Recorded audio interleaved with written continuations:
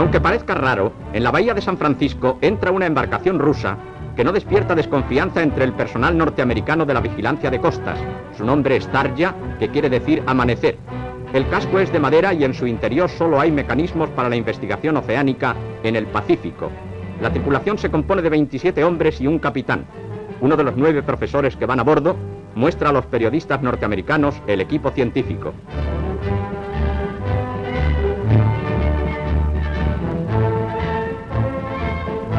El Zarja, de 600 toneladas, es el único barco de madera dedicado actualmente en el mundo a estos trabajos.